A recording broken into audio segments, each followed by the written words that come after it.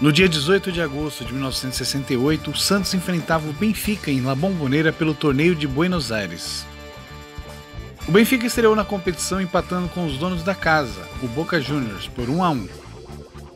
O Santos já havia vencido o River Plate por 2 a 1 com dois gols do irresistível Toninho Guerreiro e buscava manter a hegemonia frente aos encarnados em jogo que colocava Pelé e Eusébio frente a frente.